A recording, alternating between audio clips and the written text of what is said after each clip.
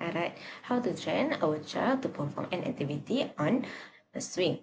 First, actually we have to gain their comfort. To gain their comfort and understanding the throwing of ball, we have to first to push the ball across the floor because this will gain their understanding in ball throwing, throwing ball. Okay, second is start to throw the ball between the chairs, the height of chairs. That is, a, a parent can fully demonstrate to children to throw ball overhead.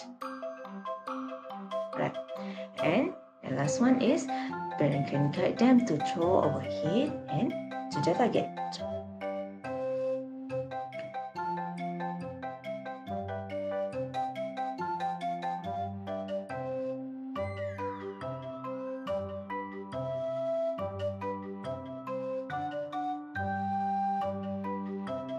Reason for these activities will improve body balancing and body movement.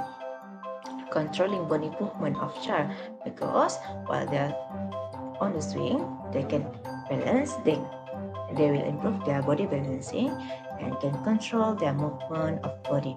Second reason is will increase or improve their hand-eye coordination because while they're throwing the ball to the target, that's improve their hand and eyes coordination. That will improve their hand force by throwing. That will improve their muscle, muscle in pushing or forcing.